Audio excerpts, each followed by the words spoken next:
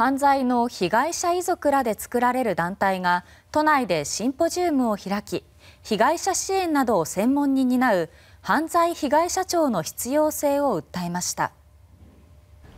私たち犯罪被害者はなりたくてなった者は一人もおりません。犯罪被害者庁の問題をですね運動しなければこれは実現しないと思います。私は絶対必要なものだと思います。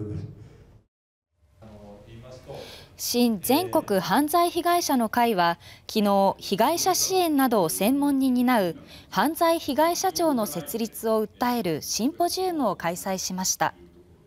シンポジウムでは被害者遺族による体験談が語られたほか